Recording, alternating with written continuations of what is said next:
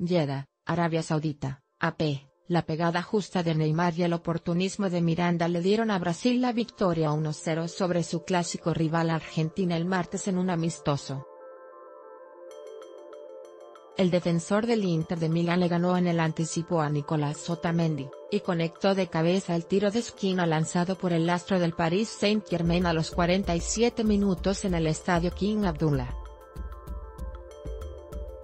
Con este triunfo, Brasil sacó ventaja de 38 a 37 en triunfos ante su clásico rival sudamericano.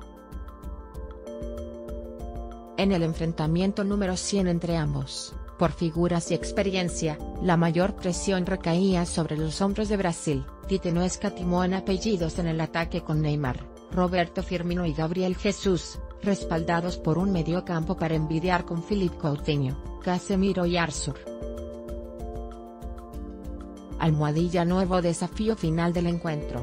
En una de las últimas jugadas, Almohadilla Brasil-Brasil encontró el gol, y superó por la mínima diferencia arroba argentina argentina pic.twitter.com barra selección argentina argentina, arroba argentina, october 16, 2018 para los albiceleste. Brasil representaba la prueba más difícil desde que Lionel Scaloni reemplazó a Jorge Sampaoli tras el Mundial de Rusia, en un interinato hasta enero. Hasta este duelo, el entrenador estaba invicto.